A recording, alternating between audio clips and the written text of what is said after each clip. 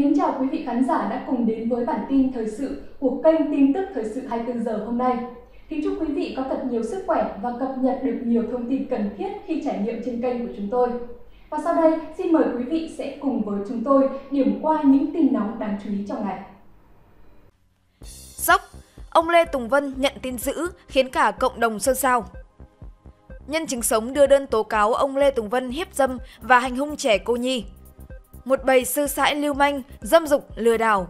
Người từng được thầy ông nội mời về dạy cho những đứa trẻ tại Thánh Đức tố cáo. Tịnh thất Bồng Lai là cái tên đang nhận được sự quan tâm đặc biệt sau ồn ào Lê Thanh Minh Tùng tự nhận là con ruột và tố cáo loạt hành động phi pháp của thầy ông nội Lê Tùng Vân. Điều đáng nói, đây không phải lần đầu tiên nơi đây có những thông tin không hay. Trước đó, vào năm 2020, Đài truyền hình Việt Nam đã có phóng sự về sự thật những thủ đoạn kêu gọi từ thiện dành cho những đứa trẻ mà tỉnh thất Bồng Lai tự nói là mồ côi.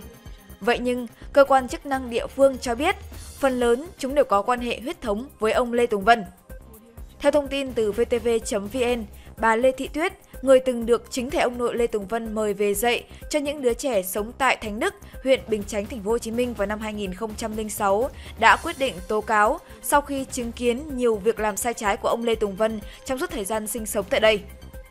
Tôi đưa đơn tố cáo ông Lê Tùng Vân với nội dung là hiếp dâm trẻ và hành hung trẻ cô nhi. Tập đoàn ông Lê Tùng Vân là một bầy sư sãi giả mạo, lưu manh, dâm dục, lừa đảo. Đây là câu chuyện có thật, tôi là người thật, việc thật và tôi có trách nhiệm nói ra sự thật, bà Lê Thị Tuyết cho biết. Trong phóng sự được Đài truyền hình Việt Nam thực hiện năm 2020, ông Lê Hồng Dũng, có chị ruột là vợ của ông Lê Tùng Vân, đã tố cáo vạch trần sự thật. Tôi đưa ra chính quyền để cho biết tỉnh thất Bồng Lai là lừa đảo, lừa gạt từ xưa đến nay chứ không phải mới đây.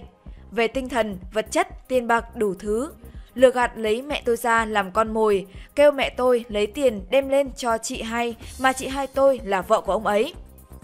Theo Giáo hội Phật giáo tỉnh Long An, nơi tự xưng là Tịnh Thất Bồng Lai ở xã Hòa Khánh Tây, huyện Đức Hòa, tỉnh Long An không phải là tu viện hợp pháp và không do Ban trị sự Giáo hội Phật giáo tỉnh Long An quản lý.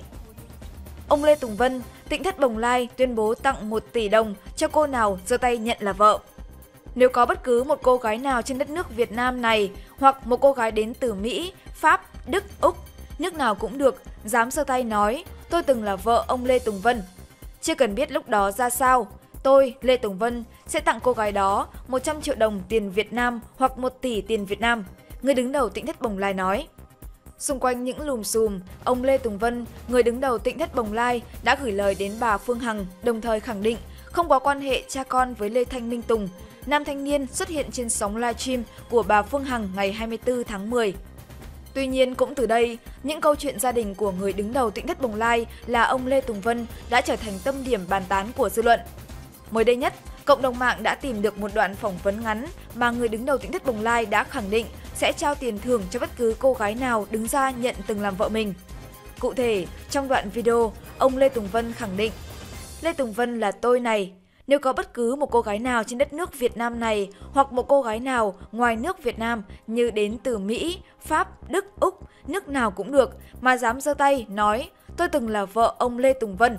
Chưa cần biết lúc đó ra sao, tôi, Lê Tùng Vân, sẽ thưởng cho cô gái đó 100 triệu đồng tiền Việt Nam hay 1 tỷ đồng Việt Nam.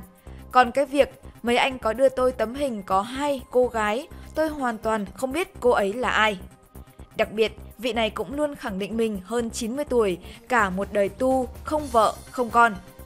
Trước đó, theo báo Công an Nhân dân, Công an tỉnh Long An cho biết những kết quả điều tra ban đầu về tỉnh thất Bồng Lai có 18 người, trong đó có 6 trẻ nhỏ. Toàn bộ những đứa trẻ này đều có cha mẹ sinh sống tại tỉnh thất Bồng Lai. Tất cả những người sống ở đây được xác định là con ruột, cháu ruột của ông Vân. Việc theo dệt lên những câu chuyện những đứa trẻ cơ nhỡ, mồ côi, không có nơi nương tựa chỉ là mục đích nhằm kêu gọi lòng tốt của người dân và các mạnh thường quân để trục lợi từ thiện. Hiện, các cơ quan chức năng vẫn đang tiến hành điều tra, làm rõ động cơ và mục đích của việc nuôi dưỡng các trẻ mồ côi để xử lý theo quy định của pháp luật. Tiếp tục xôn xao hình ảnh Diễm My đã xuống tóc, mặc đồ lam vui vẻ ngồi chụp ảnh bên cạnh Lê Thanh Huyền Trân. Trong khi cha mẹ và cả gia đình đều không biết thêm thông tin gì về cuộc sống và nơi ở của Diễm My, thì mới đây, hình ảnh cô gái đã xuống tóc, mặc đồ lam, ngồi chụp ảnh bên cạnh Lê Thanh Huyền Trân đã được chia sẻ gây xôn xao. Thời gian gần đây, vụ việc Diễm My, cô gái từng khiến tịnh thất bồng lai hay còn có tên gọi khác là Thiền Am bên bờ vũ trụ, đại náo, lại một lần nữa trở thành chủ đề thu hút nhiều sự chú ý của cộng đồng mạng bởi vào ngày 24 tháng 10, bố mẹ cô gái đã có mặt trong buổi livestream của bà Nguyễn Phương Hằng và tường thuật lại vụ việc dưới góc độ cá nhân. Ngay sau đó, những lùm xùm trước kia liên quan đến tịnh thất bồng lai một lần nữa được lật lại và khiến cho nhiều người chú ý. Đáng chú ý trong đó có một đoạn clip ngắn ghi lại hình ảnh một cô gái được cho là Diễm My đã xuống tóc quỳ trước thầy ông nội Lê Tùng Vân, người đứng đầu tỉnh thất Bồng Lai. Không những thế, mới đây trên mạng xã hội chia sẻ hình ảnh Diễm My ngồi cạnh Lê Thanh Huyền Trân chụp ảnh. Theo dõi hình ảnh có thể thấy cả hai đều đã xuống tóc, mặc bộ đồ lam màu nâu. Khung cảnh phía sau hai cô gái là một vườn trồng thanh long khá rộng lớn. Có thể thấy, thời điểm chụp ảnh này cả hai khá vui vẻ, Thậm chí, Lê Thanh Huyền Trân còn nở nụ cười nhẹ nhàng. Dù không rõ bức ảnh này được chụp vào thời gian nào, nhưng có thể thấy cả hai khá thân thiết. Có lẽ khoảng thời gian này, cả hai đang cùng sinh sống tại tỉnh đất Bồng Lai. Trước đó, hình ảnh Diễm My và Lê Thanh Huyền Trân đứng cạnh nhau trong một chuyến đi từ thiện ở Vũng Tàu vào tháng 5 năm 2019 cũng đã được chia sẻ khiến cho nhiều người xôn xao. Vài ngày trước đó, sau khi biết thông tin, cha mẹ xuất hiện trên livestream của bà Phương Hằng và bày tỏ niềm mong mỏi con gái trở về đoàn tụ với gia đình, thì Diễm My đã lên livestream khóc lóc, thậm chí đem cái chết ra để uy hiếp, mong cha mẹ buông tha cho cô. Đồng thời, Diễm My cho rằng khoảng thời gian cô sống ở tỉnh thất Bồng Lai chính là thời gian hạnh phúc nhất. Ba mẹ Diễm My, nếu nó có bầu bí, tàn tật, ốm đau ra sao, nó vẫn là con tôi. Hành trình tìm con của vợ chồng anh Võ Văn Thắng, ngụ tại thành phố Hồ Chí Minh, có biết bao nước mắt, đau đớn lẫn tuyệt vọng. Nhưng chưa bao giờ cả hai có một ngày ngừng tìm kiếm Diễm My. Gần 3 năm sau lần Diễm My bỏ đi lần đầu tiên, ngôi nhà vợ chồng anh Võ Văn Thắng và chị Đoàn Thị Tuyết Mai chưa một ngày bình yên. Nhiều đêm nằm nghĩ, tôi ước rằng mình mất đi khối tài sản nào đó. Có lẽ nó sẽ đỡ đau đớn hơn mất con, anh Thắng nói. Những đêm trắng tìm con, Căn phòng của Diễm My tại nhà, chị Tuyết Mai vẫn giữ nguyên tất cả đồ dùng, quần áo. Hồi trước, lúc nó về ở với gia đình được 6 tháng, tôi hay mua dầu dừa thoa lên tóc cho con. Sau lần cạo chọc, mái tóc nó mọc lại đã dày, khỏe hơn rất nhiều.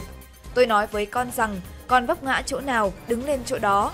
Nó cũng dạ vâng nghe lời, vậy mà không ngờ có ngày nó lại bỏ chúng tôi mà đi. Chị Mai nghẹn ngào. Lần đầu tiên, Diễm My bỏ nhà đi là vào năm 2019 trước thềm đi du học. Sau đó, hai anh chị được gặp con tại trụ sở công an huyện Đức Hòa, tỉnh Long An. Vào ngày 11 tháng 6 năm 2020, Diễm My đã bỏ trốn lần nữa. Lần đó, mẹ Diễm My đưa cháu đến trường học để hoàn thành thủ tục bảo lưu. Lúc sắp về, cháu có xin đi vệ sinh rồi lần trốn vào đám đông, bỏ chạy. Chỉ trong một tích tắc, Diễm My đã vượt khỏi tay mẹ. Vợ tôi sốc đến mức ngất xỉu, tôi vừa đỡ vợ, vừa gọi cho anh em, bạn bè tỏa nhau đi tìm. Tính đến thời điểm hiện tại, tôi đã tìm kiếm cháu được hơn một năm rưỡi. Mỗi lần có thông tin về những nơi có thể tìm thấy con, tôi đều chạy đi. Từ những cơ sở thiện nguyện cũ của ông Lê Tùng Vân cho đến những ngôi chùa ở miền Tây, chúng tôi chưa bao giờ bỏ sót bất kỳ thông tin nào liên quan đến con mình. Trong suốt thời gian vừa qua, vợ chồng tôi chưa có một ngày bình yên. Chúng tôi bỏ hết công sức, thời gian, tiền bạc ra để tìm kiếm, mong một lần có thể gặp lại con mình nhưng vô vọng. Anh Thắng, bố Diễm My nói. Từ khi Diễm My ra đi, cô có gọi về nhà hai lần. Một lần là nói mình đang ở Vũng Tàu, mong mẹ có thể trả chứng minh nhân dân cho mình. Lần khác, My trách cứ cha ruột đã đứng sau ekip truyền thông báo chí, tố cáo Thiền An bên bờ vũ trụ là một cơ sở giả mạo tu hành, trục lợi từ thiện. Chị Mai cho biết thêm, cảm giác đau đớn nhất trên đời là khi nghe con gái tố cáo cha mẹ ruột của mình. Tôi có nhiều đêm trắng tìm con đến mức suy kiệt, bấn loạn tinh thần. Mỗi lần nghĩ đến Diễm My, tôi không màng ăn uống. Lần nặng nhất, tôi bị thiếu máu phải nhập viện. Nằm trên giường bệnh, tôi nghĩ rằng nếu mình có chết đi cũng không gặp được con. Vì vậy tôi đã đứng lên, gắng gượng ăn uống, tập đi đứng để lao vào tìm kiếm.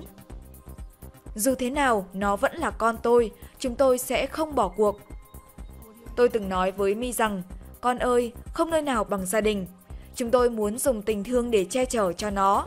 Nếu con có duyên với cửa Phật, chúng tôi sẵn sàng gửi con đến chùa để đàng hoàng tu tập. Ở Thiền Am bên bờ vũ trụ, họ không ăn chay, không tụng kinh, không niệm Phật. Mỗi ngày, họ nghĩ ra nội dung để đăng video lên YouTube. Tôi đã nhiều lần gọi điện đến Thiền Am bên bờ vũ trụ, nhưng họ không bắt máy. Công an đã vào cuộc, nhưng Diễm My đã trên 18 tuổi, lực lượng chức năng không thể can thiệp đến quyền tự do của con bé. Bà Diễm My cho biết thêm. Theo lời kể của ba mẹ Diễm My, trước khi quyết tâm tu tập tại Thiền Am bên bờ vũ trụ, cô là một người con gái rất ngoan hiền, hiếu thảo.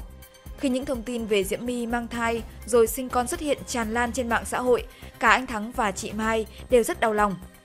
Hai lần điện thoại về nhà, Diễm My đều dùng sim giác nên bố mẹ không thể nào liên lạc được. Đến nay, mọi đường hướng tìm kiếm đều đi vào ngõ cụt. Cũng theo chị Mai, trong thời gian 6 tháng ở nhà, Diễm My đã làm kế toán để phụ giúp gia đình. Mỗi tháng, chị trả cho con 8 triệu đồng. My đã tích cóp được khoảng 40 triệu đồng trước khi bỏ đi.